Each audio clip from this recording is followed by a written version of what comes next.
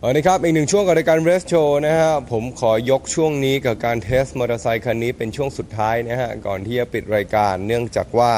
วันนี้สกู๊ปเยอะนะฮะและไม่พอครับมอเตอร์ไซค์ที่อยู่ด้านหน้าผมนี้มีเสน่ห์เกินกว่าจะใช้เวลาสกู๊ปเพียงสั้น ๆ ในการ test หรือในการทดสอบนะครับซึ่งวันนี้นะฮะเป็นมอเตอร์ไซค์ Ducati ครับ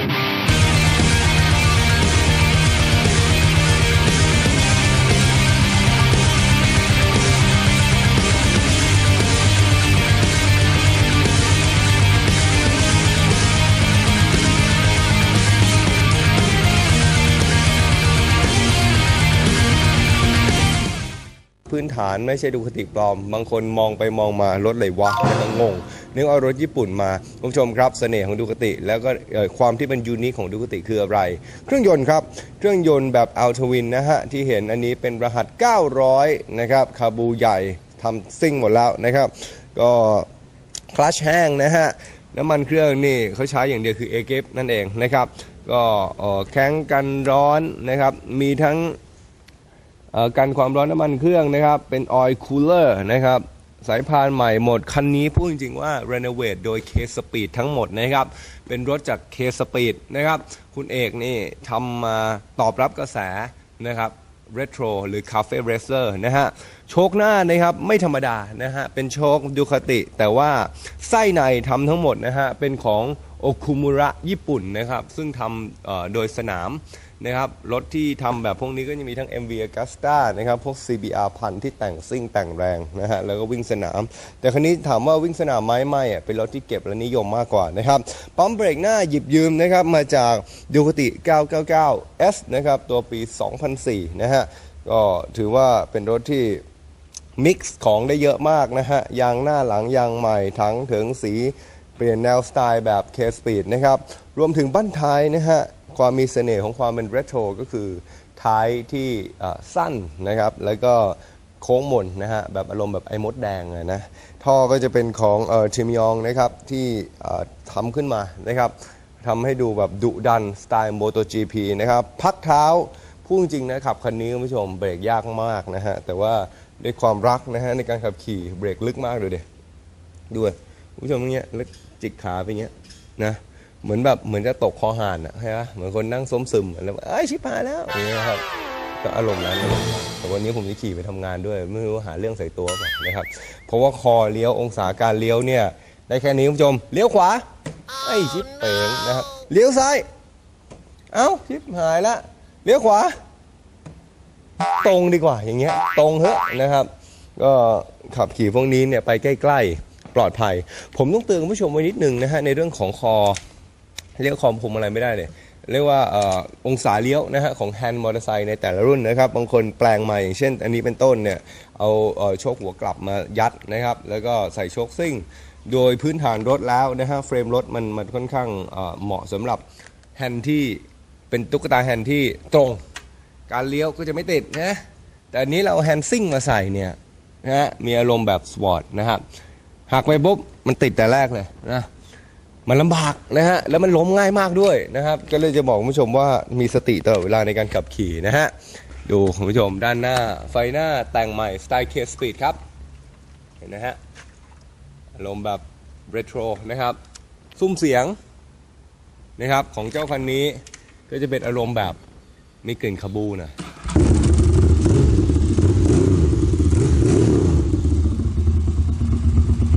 นุ่มหวาน ขี่ง่าย ไม่ร้อน แต่เลี้ยวยากชีบหายเลยนะครับ ได้อย่างเสียอย่างอะแต่อย่างน้อยได้มันหล่ออะหล่อไหมอะโคตรหล่อนะฮะอันนี้ก็ระวังนิ้วทงนิ้วเท้าเนี่ยนะครับ ใส่เท้าแตะห้ามขี่ดูกตินะฮะเพราเชื่อว่าหัวนิ้วโป้งคุณเนี่ยเขาไปงัดกับไอตัว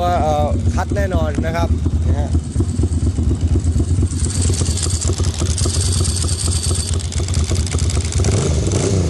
เครื่องเดินแบบเหนื่อยๆนะแบบว่าเออกูจะตายยังอะไรเงี้ยนะครับก็นี่คืออารมณ์ของรถเก่านิดหนึ่งนะฮะพูดไปพูดมากูก็เสียไม่ถึงที่ทำงานนะฮะแต่คงถึงแล้วนะครับเอาละท่านผู้ชมครับ เดี๋ยววันนี้ได้ลองทดสอบ แต่ว่ามาด้านใกล้ๆนิดหนึ่งเอานะครับ นี่เป็นไม้นะฮะรูปแบบการแต่งนะครับ อันนี้ตัวปรับโชคหัวกลับเอามาจาก CBR พันนะฮะใหม่การสตาร์ทนะฮะสวิตช์ทำใหม่หมดครับ ดูแบบง่ายๆนะฮะ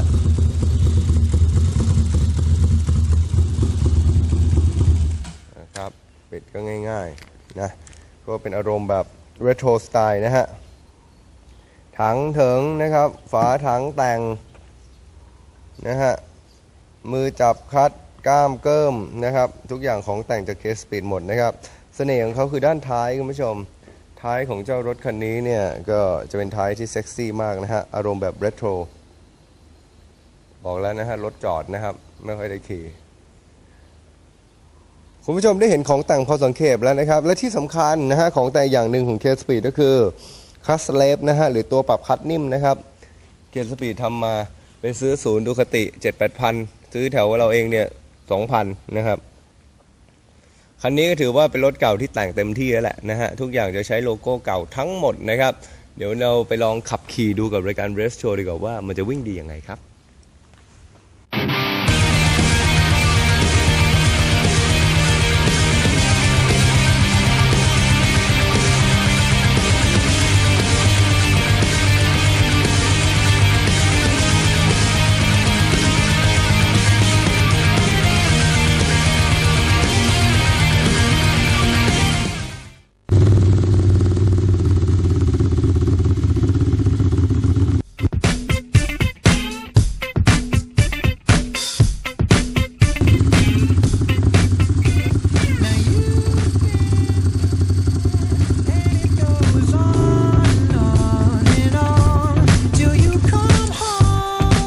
ผู้ชมครับการขับขี่คันนี้นะฮะเป็นรถที่ขับขี่ค่อนข้างง่ายนะครับ แต่ว่าการเลี้ยวยากเท่านั้นเอง ถ้าออกถนนใหญ่ก็คงไม่มีปัญหาอะไรแล้วนะครับ แต่งตัวต้องเป็นแนวนี้ด้วยนะฮะ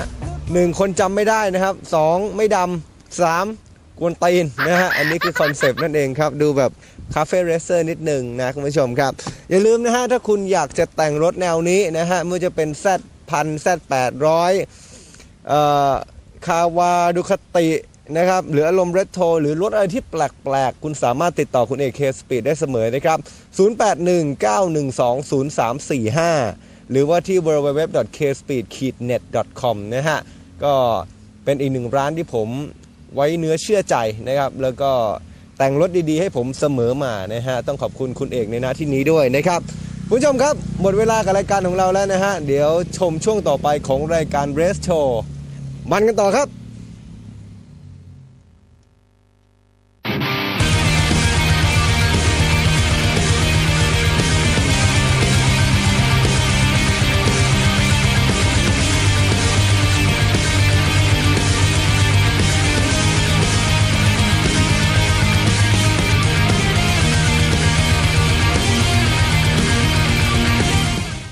บอกแล้วนะฮะ วันนี้ content ค่อนข้างอัดแน่นมาก ๆ กับรายการ Race Show ของเรานะฮะ ก่อนที่จะลาจากกันไปอย่าลืมนะฮะ เราจะแจกเอ่อหนังสือทั้งหมด 7 หัวนะฮะ จาก Race Magazine ทั้งหมดนะครับ ก็โทรเข้ามาเบอร์ด้านล่างนะคุณผู้ชมที่เห็นอยู่นะครับ โทรไปที่ออฟฟิศได้เลยนะฮะ หรือมีอะไรก็ฝาก editor ของเราคุณกอล์ฟ นะฮะในการส่งก็ได้นะครับ แล้ววันนี้นะฮะเราจะมีอีกหนึ่งเรียกว่าสิ่งที่ต้อง PR และประชาสัมพันธ์นะครับจาก Mitsubishi Scan Inter สาขาปากเกร็ดนะฮะใครที่จะซื้อ Mitsubishi ทุกรุ่นนะฮะไม่ว่าจะเป็น Mirage a t r a พาเจโร่หรือว่ารถกระบะ t r i d e n อะไรก็ตามเนี่ยนะฮะเขาบอกว่า Mitsubishi Scan Inter สาขาปากเกร็ดนะครับ เฉพาะวันที่ 21 22 นี้ก็คือวีคเอนนี้เสาร์อาทิตย์นะครับ พร้อมรับ ข้อเสนอทุกแบบนะฮะท้าชนหมดนะครับ ใครที่แบบต้องการเทรดรถเก่าออกรถใหม่อยากจะดาวดาวน้อยผ่อนนาน ดาวเยอะดอกเบี้ยศูนย์ได้เท่าไหร่ โทรไปเลยนะฮะ ก็ Mitsubishi Scan Inter สาขาปากเกร็ดนั่นเองนะครับเอ่อหมดเวลากับรายการ Rest o ของเราแล้วนะครับ อย่าลืม facebook.com/resto.tv หรือทางเว็บไซต์ของเราครับ ที่ www.restshow-tv.com นะฮะ วันนี้ผมบีมสรันยูต้องขอลาไปก่อน ช่วงนี้เสียงไม่ค่อยดีนะฮะ อากาศก็เห็นอยู่นะครับ ขมุกขมัวนะฮะ แล้วก็คนคุณผู้ชมที่ชมรายการของเราอยู่เนี่ยดูแลสุขภาพด้วยนะฮะ อยากจะมันอยากจะซิ่งนะครับ ต้องดูแลสุขภาพก่อนไม่งั้นก็ไม่มีปัญญานะวันนี้ขออนุญาตลาไปก่อนแฮปปี้ฟรายเดย์วันนี้สวัสดีครับ